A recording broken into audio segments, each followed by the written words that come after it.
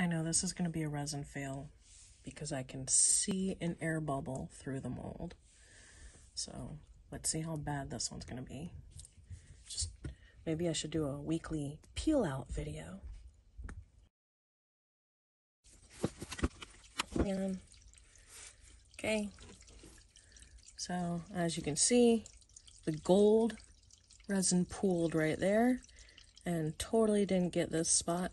This spot was filled in with a mixture of colors, both um, black and some of the chameleon powder.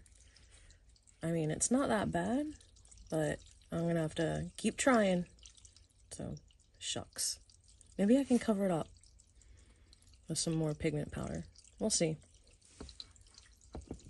Anyways. Ooh, chameleon color. Really like the black on it. Not too bad. Except for that one corner. See it?